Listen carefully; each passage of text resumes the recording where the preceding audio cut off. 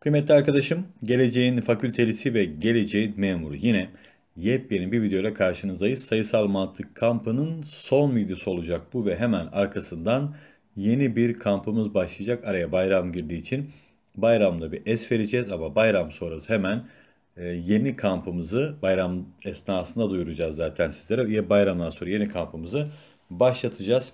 Nerede kalmıştık? Problemler, şekil yetenek ve özel sayılar tarzındaki sorular var. Bu sorular çok geniş elbette. Sınava kadar çok fazla örneğini çözeceğiz ama şimdilik en azından şimdi göstermek istediğimiz soruları sizlerle paylaşalım istedik. Vakit kaybetmeden başlayalım hemen. İlk sorumuz güzel bir soru. Gamze elindeki elmaları aşağıda gösterilen 4 adet kutuya soldan sağa sayıları artacak biçimde artıyor. Bu kısmı önemli. Yani şöyle birinci kutudaki elma sayısı küçükmüş 2'den, o küçükmüş 3'ten, o da küçükmüş 4'ten. Bu şekilde e, elmaları dağıtacağız. Peki kural ne? Gamze'nin kutulara koyduğu toplam elma sayısı 34'müş ve birinci ve ikinci kutuya koyduğu toplam elma sayısı 3 ve 4'e koyduğu toplam elma sayısından 4 eksik. O zaman birinci ve ikinci kutuya toplam x tane elma koymuş olsa 3 ve 4'e 4 eksik olduğu için 2 x artı 4 tane elma koymuş olmalı. E, toplamı zaten 34. O zaman toplayıp önce x'i bulalım. 2x artı 4'ün ederi 34 ise 2x buradan 30 gelir. 2x 30 ise de x buradan 15 olur. Yani 1 ve 2'de toplamda 15, 3 ve 4'te toplamda 19 var. Şimdi peki biz bunları nasıl dağıtmalıyız ki soldan sağa artan şekilde bunları koymuş olabilelim. 1, 2, 3, 4'ü yazalım. Şimdi 15 ne olabilir? 7'ye 8 olur. Ve küçükten büyüğe zaten yine sıralayacağız. 6'ya 9 olur. Daha sonrasında burada işte 5'e 10 olur.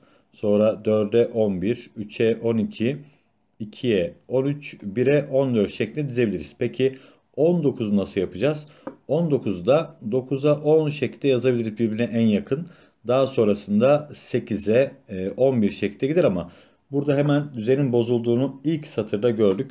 Bakın burada 7, 8, 9, 10 soldan sağa artan biçimde yazılabiliyor ama bundan sonra 6, 9 dan sonra hemen 8 gelir. Ben bunu daha küçülttüğümde bu 7'ye 12 olacak ve yine burada küçükten büyüğe sıralı hiçbir şekilde ifade elde edemeyeceğim. Sadece ilk satır bizim işimizi görüyor. Bize sorulan birinci ve dördüncü kutu.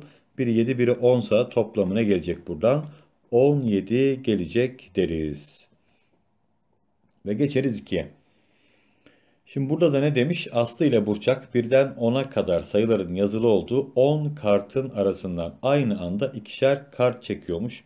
Aslı'nın çektiği kartın üzerine yazan sayıların toplamı 10. O halde burada Aslı'nın çektiği kartlar neler olabilir? Şöyle bakalım. E, toplamı 10 sa 1'e 9 gelir, 2'ye 8 gelir. Sonra 3'e 7 ve 4'e 6. 5'e 5 olmaz çünkü 5'ten e, bir tane var. Burçak'ın çektiği iki kartın üzerinde yazan sayıların çarpımı neymiş hemen bakalım. Aslı'nın çektiği iki kartın üzerinde yazan sayıların çarpımına eşit. Peki çarpımları yazalım burada. 1 kere 9'dan burası 9 geliyor. 2 kere 8 16. 3 kere 7 21 ve 4 kere 6 24. Şimdi Burçak'ın e, çektiği iki kartın çarpımı 9, 16, 21 ve 24 olmalı. Bakalım nasıl mümkün. 9 olması için bir kere 9 olamaz. Çünkü onları Aslı çekti. 3 kere 3 olur ancak ama 3 tane bir tane var. Demek ki bu mümkün değil. 16 ise Burçak'ın çektiği e, iki tane sayının çarpımı. Bu ya 2 kere 8'dir ya da 4 kere 4 olur ama 4 kere 4 olmaz. Yine 4'ten bir tane var. Bu da gitti. 2 kere 8 olmaz. Zaten onları Aslı çekti bu arada. 21 e, edebilmesi ancak 3 kere 7 ile mümkün. O da zaten Aslı tarafından çekildiği için bu da mümkün değil. 24 e, 4 kere 6 ile mümkün olabildiği gibi 3 kere 8 de de mümkün. Demek ki Burada e, eğer böyle bir şey söz konusuysa Burçak Aslı 4 ve 6'yı çektik, e, çekmişken 3 ve 8'i çekecek. Bize sorulan Burçak'ın çektiği kartın üzerine yazan sayıları toplamı 3 ve 8'in toplamından 11 gelir. Yani buradan cevap D şıkkıdır diyebiliriz. Geldik 3'e. Yine içinde şekil barındıran güzel bir problem sorusu var karşımızda. Aslında bir denklem sorusu ama böyle problem haline dönüştürülebiliyor. Selçuk sarı, kırmızı ve mavi renkli tahta blokları üst üste koyarak kuleler yapmaktaymış. Aşağıdaki görselde Selçuk'un yaptığı 3 farklı kule gösterilmiş. Şimdi burada e, görüldüğü gibi şurası yanlış olmuş yalnız onu sizin notlarınızda doğru ama burası mavi olacak. Onu ben hemen maviye boyayayım. Onun üzerinden çözümümüzü yapalım. Şimdi burada ilkinde görüldüğü gibi ne var? 2 tane mavi artı bir tane kırmızı var. 2 tane mavi artı bir tane kırmızının toplamı 20 santim. İkincisinde 2 sarı artı bir mavinin toplamı 14 santim. Üçüncüsünde de 2 tane kırmızı ve bir tane sarının toplamı da 20 santim imiş. Bize sorulan ne peki? Bir mavi, bir sarı ve bir kırmızının toplamı. Şimdi dikkat ederseniz burada her birinden üçer tane var. Taraf tarafa toplarsak 3 tane mavi, 3 tane kırmızı ve 3 tane sarının toplamı buradan 54 e, santim olacak. Bize birer tanesi sorulduğu için 3 parantezini alsak burayı. Mavi, kırmızı artı sarı biçimde buradan e, birer tanesi ne olacaktır? 54 bölü 3'ten 18 santim olur diyebiliriz. Ve geçeriz 4'e. Yine şekil yetenekle ilgili güzel bir soru var. Diyor ki yukarıdaki görselde turuncu, mor, pembe ve mavi renge boyalı altıgen paketler gösterilmiş. Bu görselde turuncu renkli altıgen petek sayısı 80 olduğuna göre pembe renkli altıgen petek sayısı kaçtır? Şimdi turunculara baktığımız zaman e, burada şöyle bir düzen yakalamalıyız. Şuradan hatta şöyle çizeyim. Şuradan başladığınızda siz de takip edin. Şu kısım sürekli tekrar ediyor. Bakın bundan aynısından bir tane de burada var. Yani her 5 altıgende bir bir tekrar var. Nasıl başlıyor bu 5'li altıgen yapılar? Pembe ile başlıyor. O halde en sonunda pembe ile bitmez. Pembe ile başlayan son beşli de şuradadır diyebiliriz. O halde şu ikisi açıkta kalacak. Yani onları en son hesaba katacağız. Peki turuncu renkte 80 tane ise ve her bir beşli de ki bir tanesini tarayıp şöyle daha net görülsün diye iki tane var görüldüğü gibi.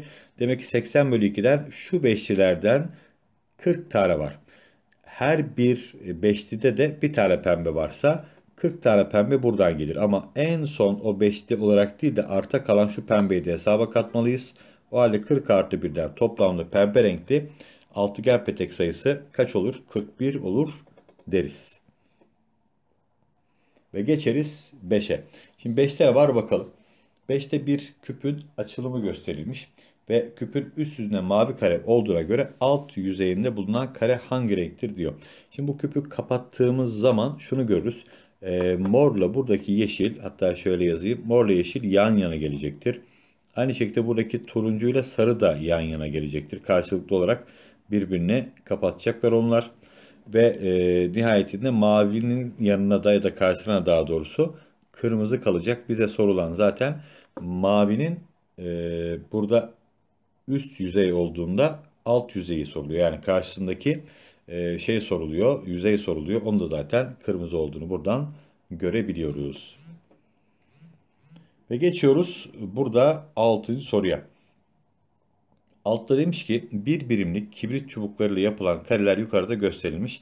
Buna göre bir kenarı 10 birim olan kare yapımı için kaç adet e, kibrit çubuğu gerekir? Şimdi burada şu 4 çubuğun kullanılması durumunda 2 tane yatay 2 tane dikey çubuk kullanılıyor. O halde bire birlik için 2 çarpı 1 tane yatay 2 çarpı 1 tane dikey var diyebiliriz. Bakın 2'ye 2'likte e, burada 2, 4, 6 tane dikey 2, 4, 6 tane düşey kullanılıyor. O halde iki kenar için 2'ye 2 dediğimizde 2 tane kenar var.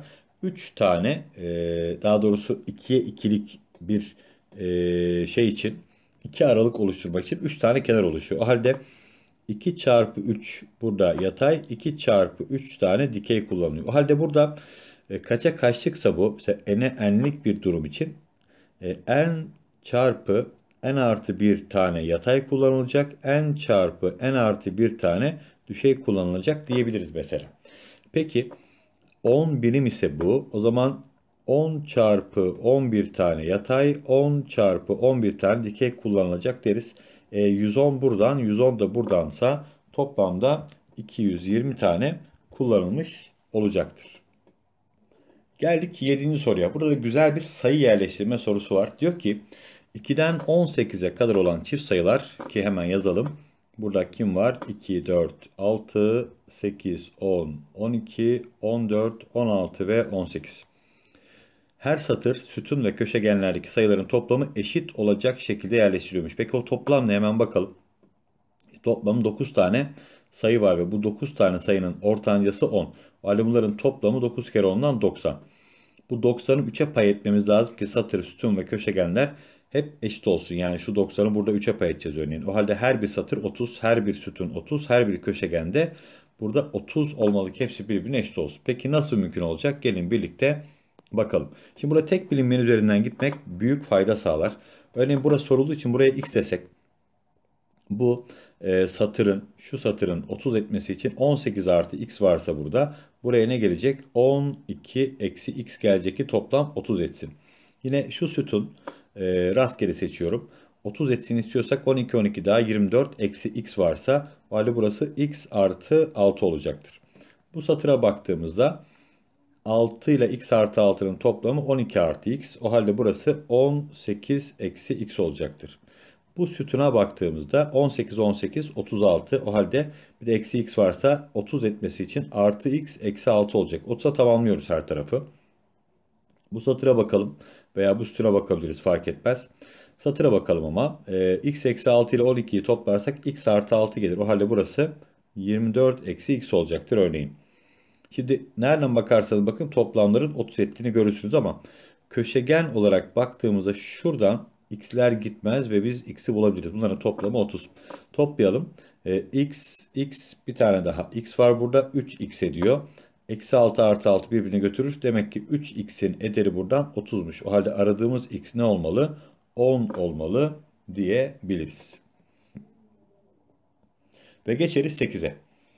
Burada ne var? Yukarıda görselde birbirini çeviren A ve B dişli çarklarının ilk ve son konumları gösterilmiş. Buna göre A çarkının diş sayısının B çarkının diş sayısına oranı sorulmuş. Şimdi diş sayısıyla dönme sayısı ters orantılı biliyorsunuz. Hatta e, diş sayısı daha büyükse dönme sayısı daha küçük olur. Diş sayısı D ile dönme sayısı e, N ile gösteriliyor genelde. Ve bunlar ters orantılı olduğu için çarpımları birbirine eşit. DA çarpı NA ne olacaktır? DB çarpı NB olacaktır. Peki bakalım. A çarkı buradayken pembe tekrar buradaysa tam bir tur atmış demektir. Yani bunun tur sayısı 1. B'nin de e, pembesi buradayken buraya inmiş. Bu da her bir e, burada e, bir birimlik dönüş 90 dereceye karşılık geliyor. Çünkü 4'e bölünmüş. O halde 2 birim 180 dereceye karşılık gelir. Yarım tur atmıştır. Bunun dönme sayısı 1 bölü 2 diyebiliriz. E buradan baktığımızda e, diş sayıların oranı 1'e 1 bölü 2 ise burada buna 2 demeliyim ki buna da e, 1 diyebileyim. O halde burada şunu demek mümkün. A çarkının diş sayısı B çarkının diş sayısına oranı kaçtır diye sorulduğu için 1 bölü 2 diyeceğiz. Şimdi geldik nereye? Geldik 9'a. Bu da güzel, basit bir sayı yerleştirme sorusu. Yukarıdaki gösterimde yukarıdan aşağıya her iki kutunun içindeki ifadelerin toplamı altındaki oklarla gösterilen kutuya yazılmış. O halde buna bakalım 3x eksi 2'ye ne eklersek 3x artı 2 olur. Tabii ki 4 eklememiz lazım. 4'e b eklediğimizde 12 ediyorsa demek ki b buradan 8. 3x artı 2 ile 12'nin toplamında ne olacaktır? 3x artı 14 olacaktır. Bize sorulan ne? a eksi b. O halde 3x artı 14'ten 8'i çıkaracağız a eksi b'yi bulabilmek için. O da 3x artı 6'dır diyebileceğiz. Çok zor olmayan temiz güzel bir soruydu. Geldik 10. soruya. Burada ne var bakalım. Oğuz elinde bulunan üçgen, kare ve beşgen biçimindeki kartları üçerli gruba ayırıyor. Sonrasında her bir kartın içine rakamlar yazıyor. Her bir kartın köşe sayısı ile içinde yazan sayının çarpımı o kartın gücünü gösteriyormuş. Aşağıda 1 ve 2 numaralı üçlü kart grupları gösterilmiş ve bu gruplardaki kartların güçleri toplamı birbirine eşitmiş. Hemen bakalım. Köşe sayısıyla içindeki sayıları çarpalım. Bu beşgen içinde 4 varsa 5 kere 4'ten burası 20. E, dörtgen içinde 3 var 3 kere 4'ten 12. Bu da dörtgen içinde 2 var 4 kere 2'den 8. Buranın toplamı halde nedir? Baktığımız zaman e, buradan 40 gelecektir. Buraya bakalım. Beşgen içinde 5 var. 5 kere 5'ten 25. Beşgen içinde 3 var. 5 kere 3'ten 15. Bura 40 geldi zaten bu ikisinin toplamı. Buradan hiçbir şey gelmemesi lazım. O halde üçgenin içine ne yazarsak e, hiçbir şey gelmez. Tabii ki 0 yazmamız lazım ki bu eşitlik, bu toplam sağlansın. Demek ki üçgenin içinde yazan e, sayı sıfırdır deriz. Geldik 11'e. Yine görsellikle ilgili bir soru var. Aşağıdaki görselde Deniz'in matematik proje ödevi olarak hazırladığı sayı gösterimleri gösterilmiş. Hemen bakalım. Burada dikkat ederseniz 231'i yazmak için aşağıda 2 çizgi, sonraki 3 çizgi var. Sonra da bir çizgi var. Demek ki bu şekilde gidiyor. Burada kontrol edelim. 402 burada 4 rakam olacak. Yani yüzler basamağındaki rakamı çizgiyle ifade etmişiz. Burada 0 var ki hiç çizgi yok. Tutuyor. E, 402'de burada 2 tane çizgi var. Problem yok. O halde çizgilere göre bakacağız. Yani yüzler, onlar ve birler basamağı şeklinde gidiyor. Yüzlerde 3 tane çizgi var. 300'lü bir şey. Sonra yine 3 var. Sonra yine 3 var. Burası 333. Burada 1, 2, 1 şeklinde. Demek bu da 121. O halde ikisini toplayalım. Şöyle bakalım. 333 ile 121'e ne olacaktır? 454 olacaktır. 454 olabilmesi için 4 çizgi, 5 çizgi, 4 çizgi aramamız lazım yukarıdan aşağıdan yukarıya doğru. Sanırım burada var. Ee, hemen bakalım 4 çizgi var. Burası da 4. Burada 5 çizgi olmalı. Burada yanlış e, yazmışız. Notlarla doğru. Burada da bir çizgi çıkmamış pdf'de bilmiyorum. C şıkkı doğru cevap olmalı. Geldik 12. soruya. Yine şifreyle alakalı bir soru var. Harflerin bazı rakamlarla şifrelendiği bir şifreleme sisteminde bazı sözcükler ve şifre karşılıkları karışık olarak verilmiş tabloda. Tek sözcüğünün şifresel karşılığı. Hemen bakalım. Şimdi burada 1, 2, 3 ve 4 hangi harflere karşılık geliyor? Şimdi burada baktığımız zaman Kek'te ve KTK'da K, K bu şekilde söylenmiş ya da yazılmış. Bu şekilde olan rakam hangisi? Baktığımız zaman 120'deki birler ve 131'deki birler tutuyor. Demek ki burada birin ederi K şifresel karşılığı ya da. 2'ye baktığımızda bakalım. E, burada 242'de iki tane 2 var birler ve yüzlerle. Bir de ortada bir 2 var. Bunu sağlayan ne var? Hemen baktığımızda E sağlıyor değil mi? Bu da iki tane sağ sol bir tane ortada. Demek ki 2'nin karşılığı E'ymiş. 3'e baktığımızda 3 bir birin burada tam ortasında e, burada da bir birin tam ortasında 2 var. Yani bir bir olanların ki KK olanların ortalarında bir 2 var bir 3 var. KK'nın ortasında 2 olan E'di zaten. O burada var. Demek ki diğeri de burada. O da T olmak zorunda. Buna ne kalıyor zaten? Bize tek soruluyorsa 321 oluyor değil mi o da sanırım. Yani cevap E şıkkıdır diye biliyoruz. Ve geçiyoruz 13'e. Şimdi 13'te Sıtkı kare biçimdeki şekilleri aşağıdaki gibi herhangi iki kare iki noktada kesişecek biçimde çizerek aşağıdaki gibi desen elde etmiş.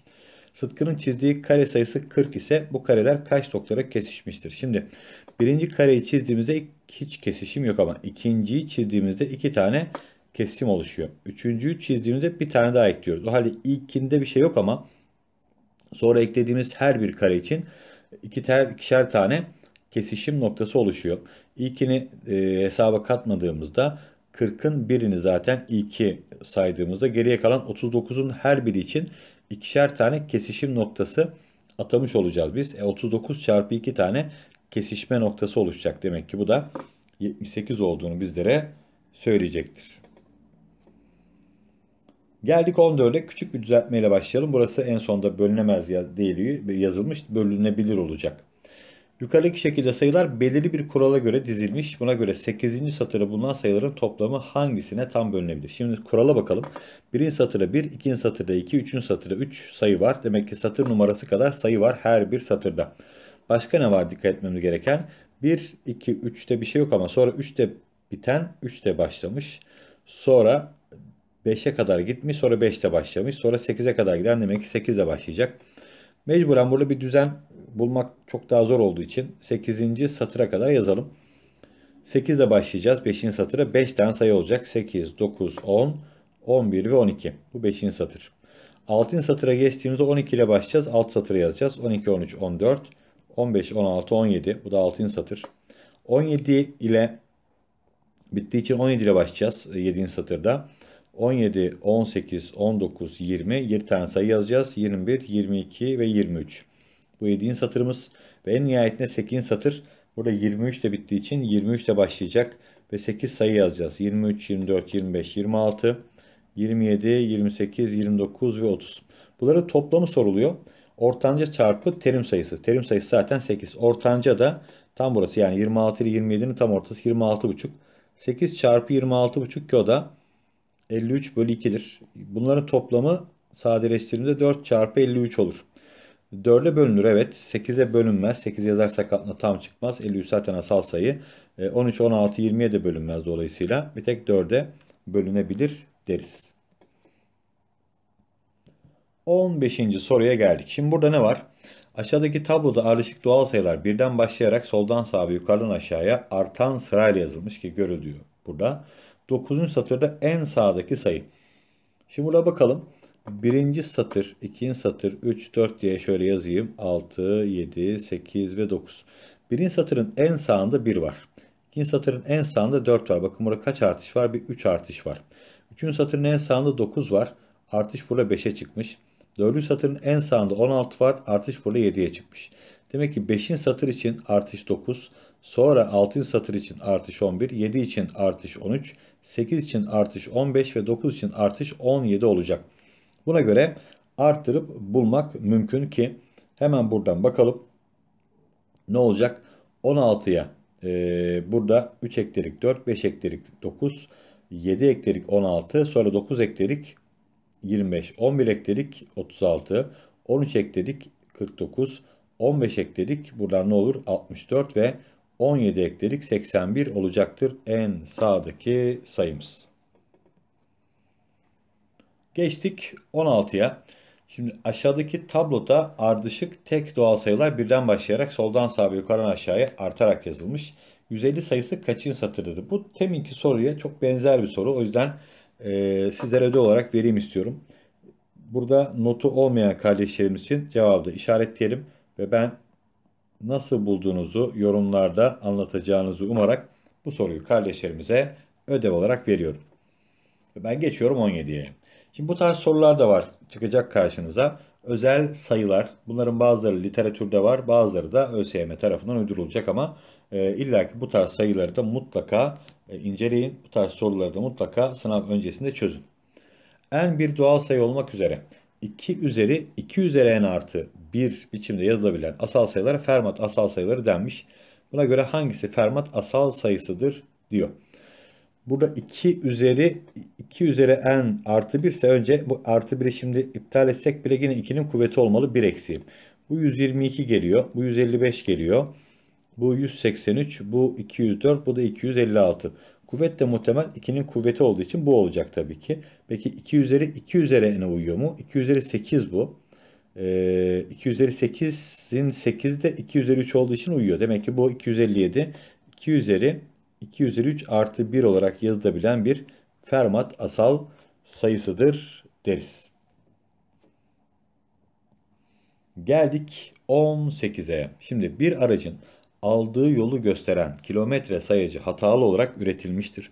Bu sayaç hanelerinde 3 rakamını göstermesi gerektiğinde bir sayı atlayıp 4 rakamını göstermekteymiş. Örneğin sıfırlanmış bir sayaç 15 kilometre yol aldığında burada görüldüğü gibi 3'e atlamış sonra 13'ü atlamış.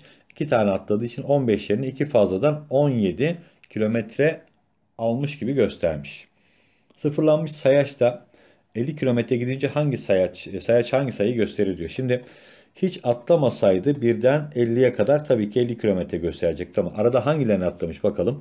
3'ü, 13'ü, 23'ü, 30 ila 39'daki toplam 10 tane haneyi atlar. 43'ü atlar. Yani buradaki 10 tane sayı sonra 1, 2, 3, 4 olmak üzere toplamda 14 sayı atladık. O halde biz 51'den 14 tane daha gidip 64'e kadar zaten ulaşırız. Ama Burada atladığımız sayılar varsa ekstradan bunları da düşmeliyiz. Burada hangisini atlarız biz? 53'ü atlarız ve 63'ü atlarız. İki sayı daha atladığımız için bu iki sayının telafisini de yapmalıyız. 65 ve 66'yı da eklediğimiz zaman zaten arada daha atlanacak bir sayı olmadığı için sayaç durur ve 50 kilometre gitmiş olsak da sayaçta 66 kilometre gittiğimizi görmüş oluruz. Ve geçeriz 19'a. Aşağıda değişik konumları verilen küpün bir yüzünde de 11 yazmaktaymış. Hemen bakalım o 11 yazan yüz hangi sayının karşı yüzündedir diyor. Şimdi burada e, görüldüğü gibi 5 ve 3 şurada varken burada da var. Bir yanda 9 görünüyor iken bir yanda 1 görünüyorsa demek ki 5 ve 3'ün bir yanında 1 bir yanında 9 var. Yani 1 ile 9 karşılıklı. Sonra 3 e, burada dikkat ederseniz kiminle karşılıklı diye bakmak adına 3'ün karşısında 7 olmalı. Çünkü 5 e, ve 9 burada varken burada da var. O halde 5 ve 9'un burada bir tarafında 7 varken bir tarafında 3 var diyebiliriz. 3 ve 7 karşılıklı. O halde 5'in karşısında burada görünmeyen 11 yazmalı. Yani 11'in karşısında tabii ki 5 yazmalı deriz. Bu tarz sorularda aklınızda olsun.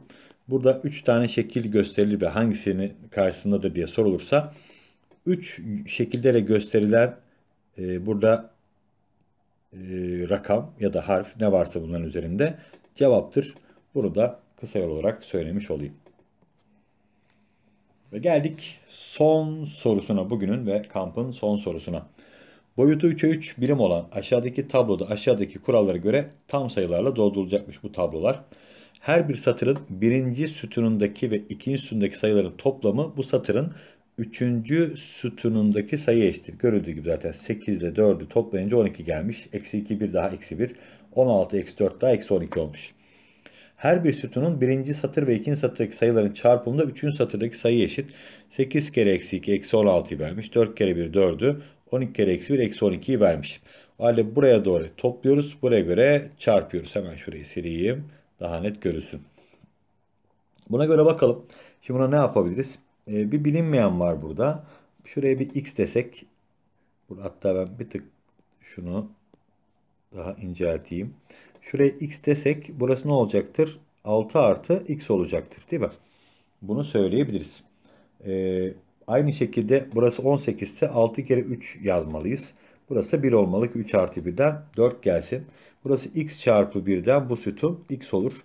Şimdi burada ne yapacağız? Şu n hem bu satırın toplamı yani n hem 18 artı x'e eşit hem de şu sütunun çarpımı. Yani 4 çarpı 6 artı x'e eşit. Buradan eşitleyebiliriz. x de n'e eşit zaten. 18 artı x ne olur? 4 çarpı 6 artı x'ten 24 artı 4x olur. Ama biz x'i aramıyoruz. n'i arıyoruz.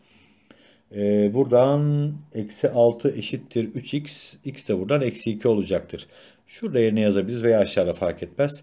18 eksi 2'den 16 gelir. Yani aradığımız n buradan 16'dır diyebiliriz. Güzel, hoş bir soruyla bu kampımızı bitirmiş olduk. Ödevi unutmadım. Ödevleri, ödevin cevabını yorumlara bekliyorum. Peki. İnşallah faydası olmuştur diyelim. Çok çok daha fazla soru çözeceğiz ama biz elimizden geldiğince burada sizlere yardımcı olduktan sonra sizin de bayrağı aldığınız yerden ileriye taşımanız gerekiyor. Yani sizin de çok bolca soru çözmeniz gerekiyor ki bu burada kalmasın. Size çok çok daha fazla fayda sağlayabilsin. Bayramda duyurusunu yapacağız dediğim gibi. Yeni kampın içeriğini neler yapacağımız. Bundan sonra haftada bin soru kampı var. Bayramdan sonra haftada bin soru ödevi vereceğimiz e, ve e, yine bizim kaynaklarımızdan en güzel e, ve en çıkabilmesi muhtemel gördüğümüz soruların çözüleceği güzel şöyle bir 10 günlük kamp yapacağız sizlerle. Bitmeyecek tabii ki ondan sonra kamplar sınava kadar devam edecek. Takipte kalın yeter ki e, mümkün olduğunca sınava kadar netlerinizi arttırabildiğiniz kadar arttırın diyelim. Peki herkes çok iyi baksın kendisine. Allah'a emanet olun.